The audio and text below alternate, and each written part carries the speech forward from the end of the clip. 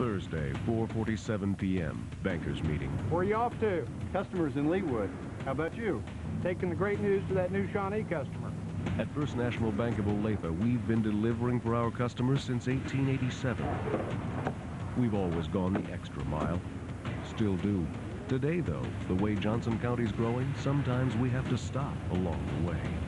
Strong, independent, resourceful. First National Bank of Olathe.